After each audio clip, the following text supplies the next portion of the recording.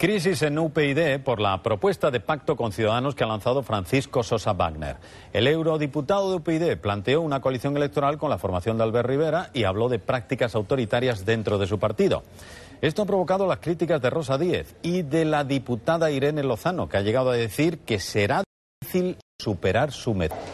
La diputada de UPyD, Irene, diputada de UPyD, Irene Lozano, cree que su compañero Sosa Wagner intenta desacreditar al partido y en esta carta, como ven, de título cariñoso, le dedica frases en un tono bien distinto. No te conoce ni el 12% de los españoles. Tu campaña es la peor valorada o no va a resultar difícil que alguien te iguale en mezquindad.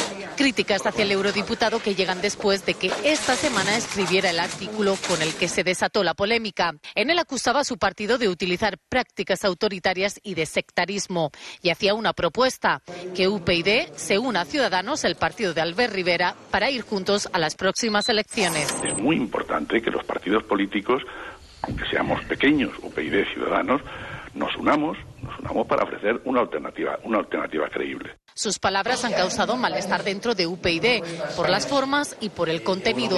Rosa Díez ayer mismo desmentía y calificaba de injustas las acusaciones de Wagner. Las formas son muy importantes y esta manera de expresar esa opinión me parece que es inaceptable. Me parece injusto, profundamente injusto, profundamente falso. Ciudadanos cree que el cabeza de lista de UPyD en Bruselas está siendo maltratado por su propio partido.